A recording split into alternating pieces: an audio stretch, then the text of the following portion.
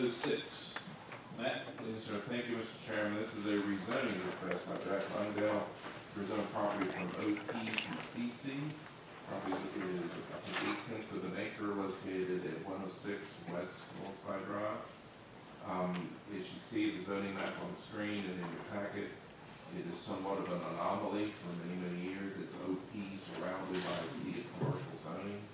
And that is a pattern that goes back at least thirty years ago. And it's simply because it was a doctor's office for many of those years. However, it has been empty, um, for at least, I think, twelve or thirteen years. It's been a long time. They are looking to market the property a little more broadly. They do have a potential client interested, I believe, in purchasing it that needs commercial zoning. So they're requesting CC zoning to match that of their neighbors. The Only thing in this immediate area that's not commercial zoning is the office buildings directly south. Given the nature of the zoning pattern and all these other details in your staff report, um, including the traffic pattern on Northside Drive being a four lane as opposed to a two lane, commercial zoning makes very good sense here anyway. Um, the applicant is here, you've got some more detailed questions for him. Otherwise, staff is recommending approval, after finding it consistent with the comprehensive plan, the standards for exercise of zoning power, um, our responses to those are there in your packet. Um, and recommending approval of the rezoning. Be glad to answer any questions you may have. Thank you, Matt. Chairman, now, I'm just curious, I know that, like you said, the property's been vacant for some time, and a piece of property on the side, I believe, are just dirt presently. Um, and that is correct. They were, particularly the one to the west, demolished not too many years ago. Yes, Used to be a gas station convenience store. Um, the one to the east, I think, was another office, but demolished. Um, we've had inquiries but on all of these. that's what I'm going, my, my question is, so, I, I, I- I think I'm correct here, there's, there's a lot of challenges with both these pieces of property as far as getting a tenant in there. Will this relax some of those? I'm just curious. Well, it- everything allowed in OP is also allowed in CC, and then you add to that the broad range of commercial, uh, commercial uses. The last inquiry I can remember for this particular property was to convert it to a restaurant. Um, and that was a number of years ago, which of course would require commercial zoning. And the recommendation then, then is the same as now, um, to rezone it.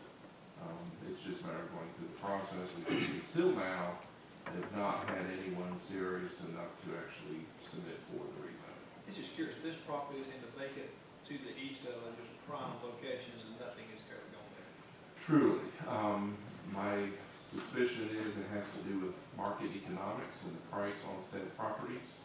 Um, because otherwise, it seems to me they should have redeveloped a long time ago, considering their location, city planners, we don't get into those too much, uh, other than we hear certain things. Commissioners, any other questions for staff? All right, we'll now enter the public hearing portion of this case. Is there anyone here this evening who would like to speak in favor of this application? If so, please come forward, state your name for the record.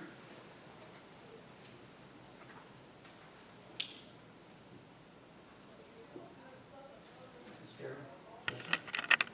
Um, my name is Jack Langdale, seven oh one North Patterson. I'm here on behalf of Dr. Kyle Harrell, who is currently operating veterinary clinic just down the street at one eleven East Northside Drive. And the qPublic Measuring Tool has that about six hundred feet away from the corner of this property. Um, he's been operating his veterinary clinic sometime there, does a really good job, has been very successful. He's out of state. So the intention here is to rezone it from office professional, CC, to allow him to expand his veterinary clinic down the street. And I've asked him if he intends to, the, the first question he came up was, well, animals will be outside.